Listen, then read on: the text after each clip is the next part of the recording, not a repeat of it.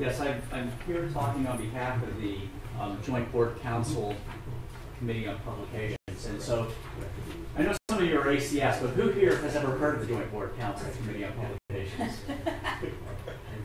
Who's the current chair? The current chair is Kevin Gable. Okay. Um, so you're probably, you know, in this ethics um, symposium, you're probably wondering, what is this committee? Um, why is you guy? still, are you still on the committee? I'm still on the committee. Um, why is this guy talking about this in this ethics, um, publishing ethics um, symposium? And what does this committee do? And so I'm hoping to answer those questions for you and more uh, today. And you'll note that I've handed out, or had Grace pass out the ACS ethical guidelines to publication of chemical research, um, which we've learned that people aren't don't pay attention to. But uh, also note that it had a publication August 2010, at least the current current version of it. And so maybe people will become more aware of it as time progresses. So the ACS actually has two committees focused on publishing. And uh, they have they focus on different aspects of publishing. One is the governing board for publishing, and their charge really is the business operations. They're interested, you know, they look at the pricing and the marketing and and uh, things of that nature. They're also look at the business opportunities with regard to to uh, whether new titles should be launched, things of that sort. The Joint Board um, Council Committee on Publications, uh, its focus is on editorial quality. Uh, it, it, and, and I'll get into more detail about what I mean, what I mean by that, and what the role is, how we go about doing that. But we're focused on, on the content, we're focused on um, the editors, we're focused on the, the process, um, and, and so on. And in fact, the responsibilities of the committee are to assess the editorial quality and content of the publication program. Uh, we actually serve as a communication channel among all the stakeholders within society, within, within the, the communities that are served by the publications. We work with the editors um, concerning editorial policy. Um, we we um, participate in the edit, at least the chairs. The chair participates in the editors conference, which is held every year, where they, they communicate about um, common issues. Uh, this committee actually reviews the editors in chief and recommends whether they should be reappointed or not to the board of directors. Because the editors in chief of ACS Publications actually are in a term appointment, and it's a check and basically we're a check and balance um, for of the members on on the on the journals and the editors. Uh, we also recommend to the board of directors whether there should be changes in the publications. Let's say that that uh, in, in, from past experiences, uh, whether two two journals should be merged, content-wise, as, a, as an example. We also have a subcommittee on copyright, and we advise on matters related to copyright. So that that's what the charges are. Those are the, the general responsibilities of this particular committee. And so I think you're beginning to get a picture for why we're giving a talk at an ethics uh, symposium. So functionally, what do we do? The committee meets twice per year at the ACS symposium. Uh, we regularly monitor the individual journals. Uh, some of these dossiers that are pulled together, in, what we're interested in is doing a health assessment, assessment or if you've ever been in the military, uh, uh, fitness um, evaluation. Okay. How we ask questions, general questions of how well is the journal meeting its mission and serving its community? Um, how well is the editorial operation functioning? Are things being done in a timely way? Um, is are, are the are the um, are, is the, the journal perceived as being fair? I mean, we consider factors that include bibliometric, statistical, and competitive landscape analysis. The dossiers that are provided or that are generated by staff at the bequest of, of the committee often are um, a quarter of an inch to, to a half an inch thick uh, paper. Every way you can slice and dice the journal. Uh, we, and we delve into them, we read them, and there, there are critical evaluations that are done. There's input from the editors with regard to their vision. Um, we get all of the bibliomet- all, all, of the statistical information with regard to when, um, how long it takes for papers from the moment they are received to when they are published, and the review process, and, and so on. Um, we evaluate the editor and editorial team composition and quality. Uh, are they are they um, representative of the community that it's be, that is being served? Uh, we also seek assessment from experts. We reach out and we query experts in that particular subdiscipline in chemistry. Uh, we, we, um, many of the journals, I mean, the journals are tied to specific research communities. The, um, there are a lot of divisions of the ACS that are tied to specific research communities. So we reach out to the divisions and seek input with regard to who, what experts we should query. We also ask the editors, and we and we have composition on the on the on the um, committee that also provides input into this process.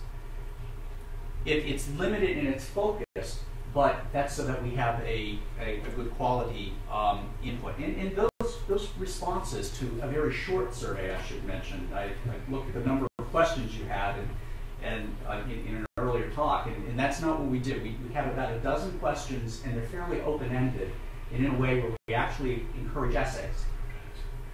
And that, and, and that turns out to be very insightful for us.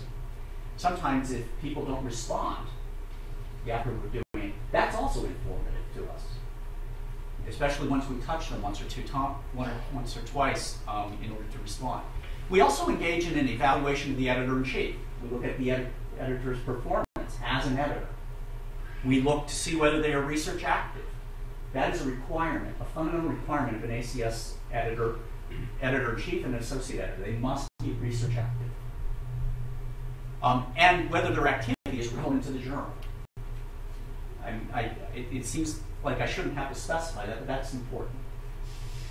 Um, we also look at and we query, we have a series of questions that we ask, open-ended questions, with regard to the, what a critical analysis, a SWOT analysis of the journal by the editor-in-chief, as well as what their vision and plans are for the journal. Um, and this speaks legions too. If we get one-liners to the, to the series of questions, that tells us something. If we get paragraphs and they're insightful, that tells us something.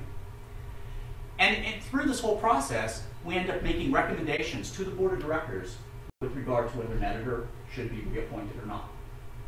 Now, with regard to associate editors and so on, that's the prerogative of the editor-in-chief. We trust a lot in the editor-in-chief. Our level of um, oversight is with the editorial operations, the, edit, uh, the overall journal, and with the editor-in-chief.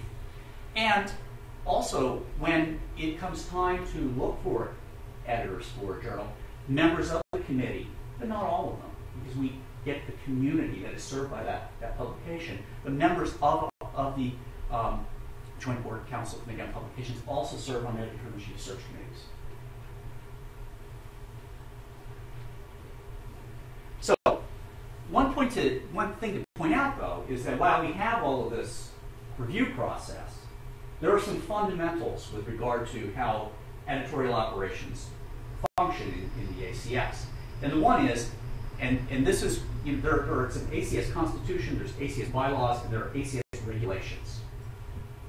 Okay, those are three governing documents.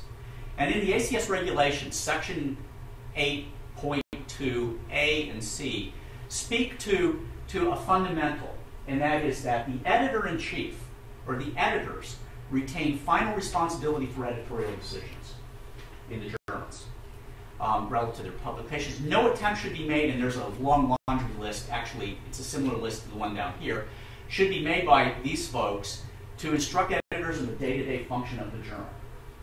We don't do that's the editor-in-chief's job. Now we have ACS staff that support, and certainly that they guide the portfolio and, we, and work with the editors with regard to policy. But in the end, that editor-in-chief is responsible for those decisions, but yet they are held accountable to the Joint Board Council Committee on Publications and to the Board of Directors. Okay. The editors of the Society primary publications also enjoy freedom with respect to the exercise of editorial prerogatives insofar as they pertain to scientific content of published articles.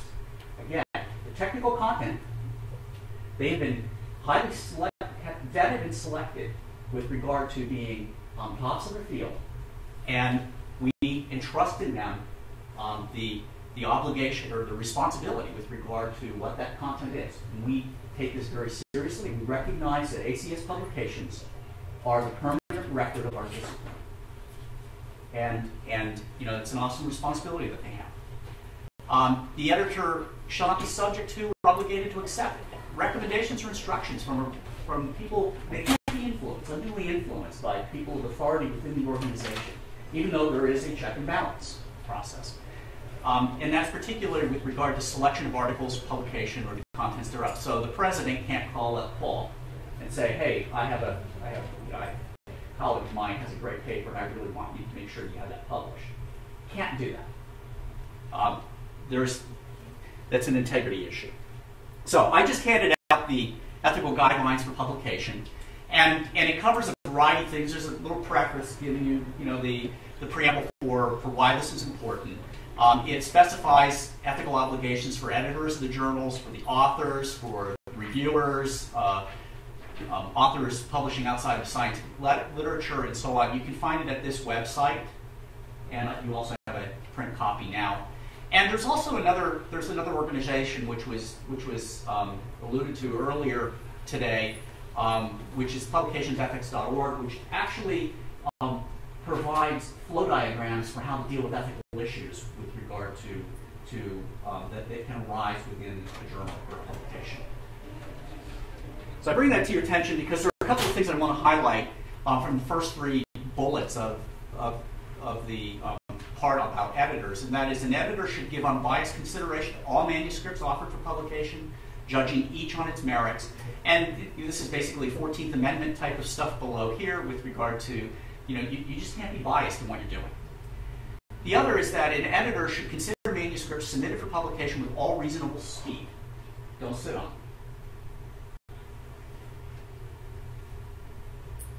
And again, within this, it underscores the sole responsibility for acceptance or rejection of manuscript rests with the editor.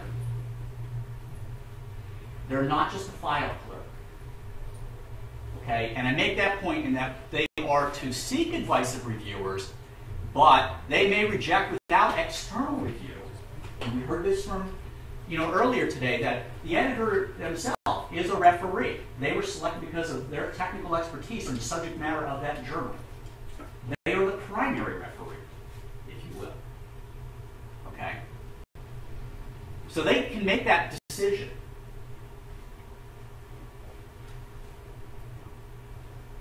So, what is the role of this committee that, that I'm talking about?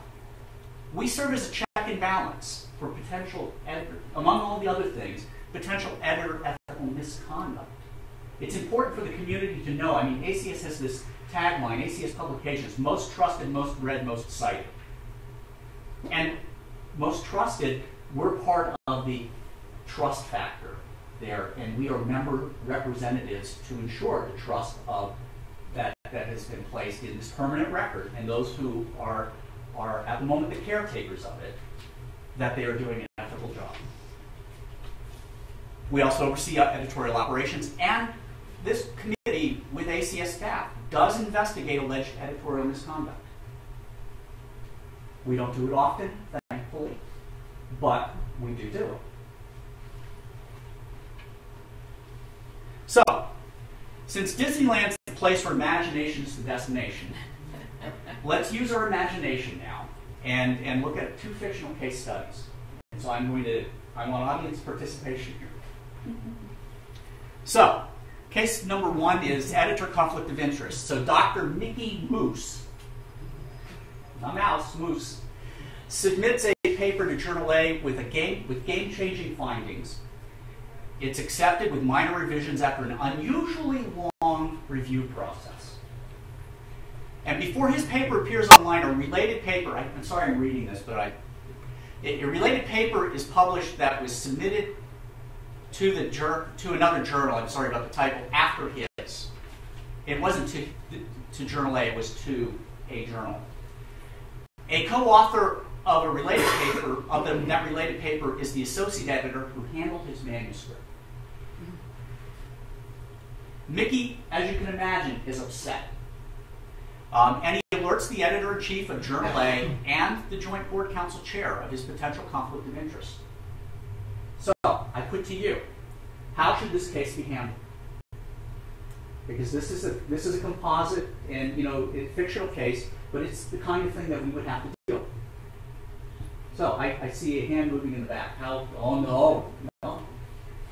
How, how should we handle that? First, Yeah. First First, you want to find out uh, uh, what, about the, you'd have to get details on the length of the review process, whether or not this co-author, in fact, saw the manuscript. Right. So first, do we have jurisdiction? That's my first question. Does, does the committee have jurisdiction? Yes. And, and, and I guess that was presumed, but, but that's the first question that we ask ourselves. Is this something that we can get involved in? Okay. Okay. Because it is an associate editor. Okay, so according to what you're saying here, this associate editor had handled this manuscript before. The associate editor received Mickey's paper, the asso- and, and it was a long review process. And before Mickey's paper appears, He publishes the Online. same kind of data. a, a similar paper appears that was submitted after Mickey's and, and appears in another journal before Mickey's comes out. But the associate editor is acting as the agent of, AC, of ACS or whatever. So we, whatever. so we have jurisdiction, and, and your comment that we need to see whether, whether they're substantively the same or not. And, and, and any other comments?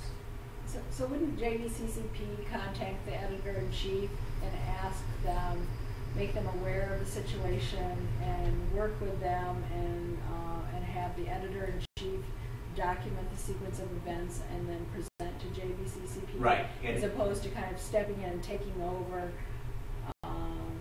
And, and in fact, Mickey contacted the editor-in-chief and the, the committee in this, in this uh, illustration. Well, so somebody has to speak to this associate editor. That's right. And, and in the end, perhaps it's the editor-in-chief. Why would Mickey also include this chair in this?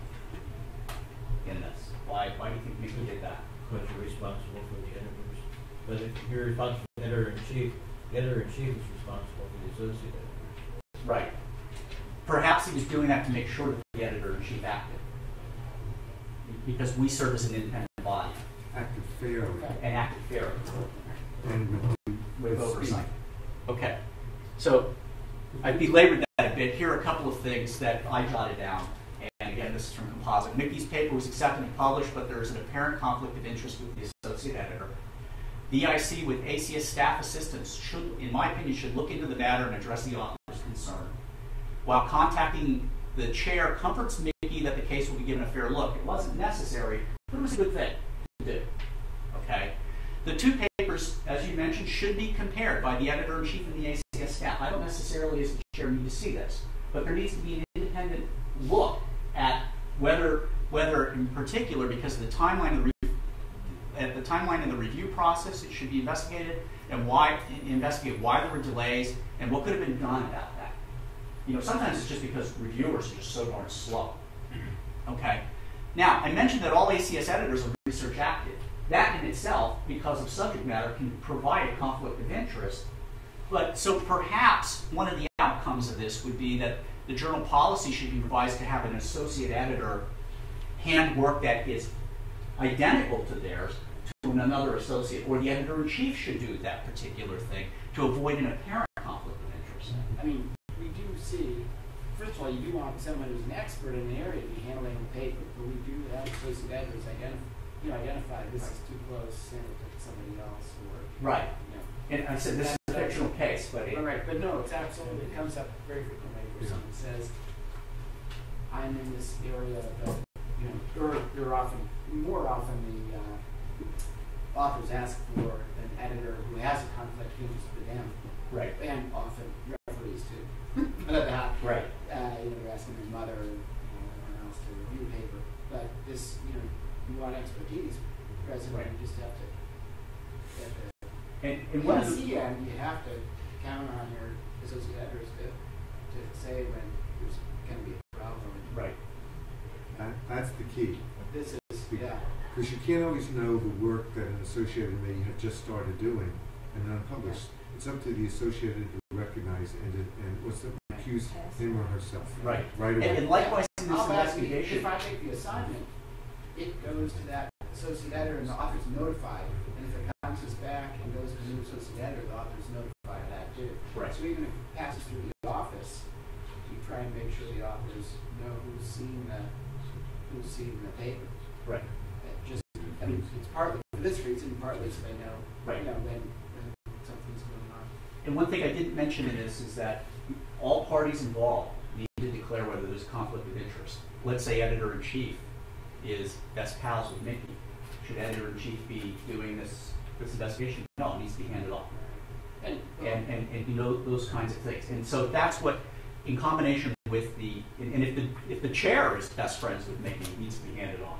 So there are, all of those things need to be done, and I can tell you that that kind of thing is how we operate when we get cases that would be related to this. Yeah, So, I mean, one of the things that comes up anytime there's any conflict is that the journals have no ability to investigate anything. Right? Some, two people at some institution will say overseas, say, this guy stole my idea at a group meeting, and then published it. And I want you to do something about it. We had how many different emails in one particular case, not just to our journal, but to it. Yeah. uh, sister one that just is continuing barrage, and all you can do is, you know, We they want the full, you know, CSI treatment of every lab notebook in a country where, you know, And we can't we do don't even visit. Yeah, I mean, so having some, some staff set up with some experience actually. So I have a question for you and NSF. What's the, what's the requirement for whistleblower identification? The reason I ask that is uh, a colleague contacted me some time ago, wanted, and had contacted you all, maybe the director of publications, the staff director of, uh, anonymously, and and the person said, we will accept uh, information from a whistleblower only if they are willing to provide their name on a confidential basis. And this individual felt, said to me, he, she was unwilling to do that because he, she was unwilling to trust ACS with that information. That is, he wanted to give the whistleblower information, but was unwilling to give his, and, and, and felt, his or her position was that the information he or she would provide did not require his or her testimony It was information in order to. Do you, could you both tell me whether whistleblower identification is required to pass on that information? I don't have an answer for you. I'd have to come back to you with giving you what the Okay. official policy Maybe is on that. Anything I would say would just be Okay, me fair speaking enough. off the top of What, my what head. about in? NSFOIG will accept and investigate anonymous allegations. There, there are, there's an anonymous hotline, there's an anonymous email. Sometimes those don't go very far because we don't get the relevant information. That's even fair because enough. somebody If, they don't provide they don't provide it, but. Point two, the identity of a person that we do know about will be kept confidential. Here's part two A, if they request confidential source, that puts a whole nother layer of protection on it, but part B is they're kept confidential except in very limited circumstances otherwise. Step three, there is no federal whistleblower protection for allegation. There's federal whistleblower protection for federal employees, but there is no federal whistleblower protection for people talk about misconduct with respect to NSF funds, except, sorry, it's the government, except for ARRA funds, A-R-R-A funds. The ARRA funds, that the ARRA law passed through Congress provides specific whistleblower protection to people who make allegations of fraud with respect to the expenditure of ARRA funds. So when you call us up, the first question we ask, and people say, that's a stupid question, but it's not, is, is this related to ARRA funds? Because if it is, we can tell you something right away. If you don't know, we can't tell you, but there's, there's a difference. Let's finish this discussion. I want to go on to the next case study. Thanks. So arbitrary rejection. And, and the reason why I gave you all of that, the, the legalese in the preamble is to give you some context of how we go about making decisions. So, so Dr. Donald Duncan has, has a paper rejected by the editor-in-chief of Journal B without external review because it does not meet the subject matter interest requirement of the journal. Two months later, the author receives a paper with similar subject matter, according to the, to the author, to Donald D, um, from Journal B to review.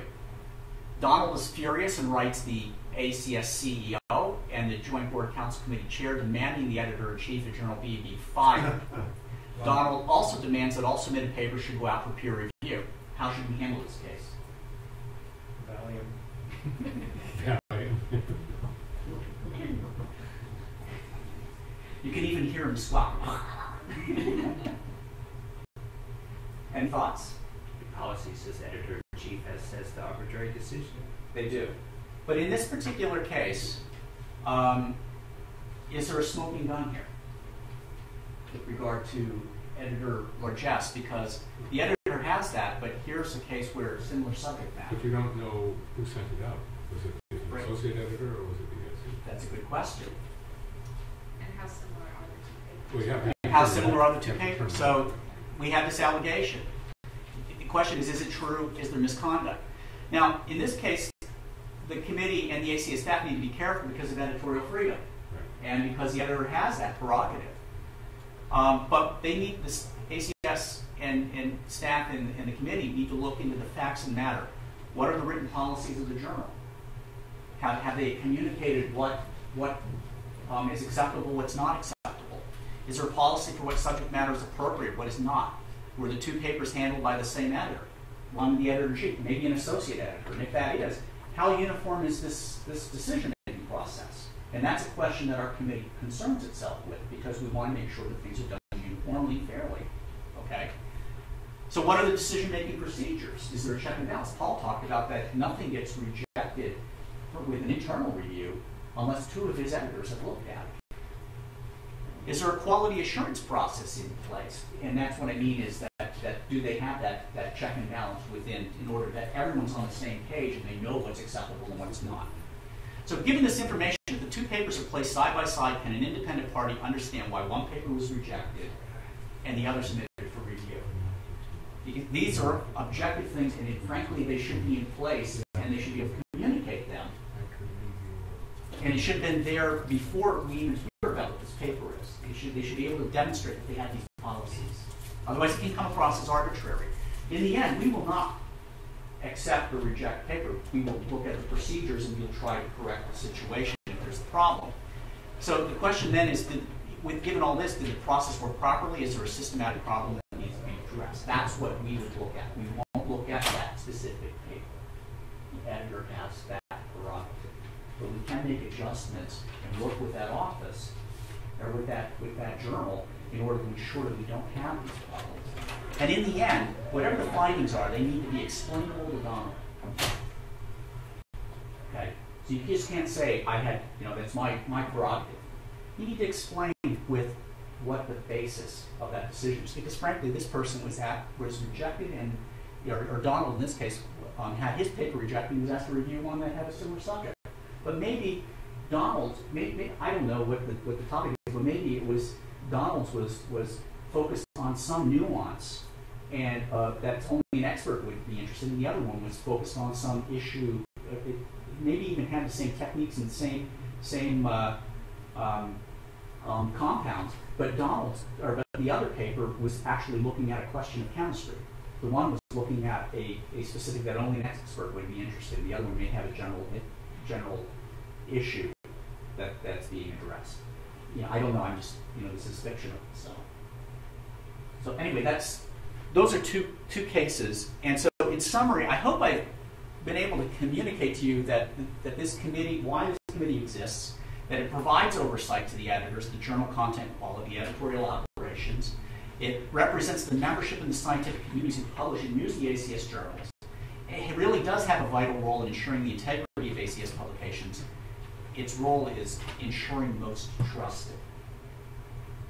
Thank you.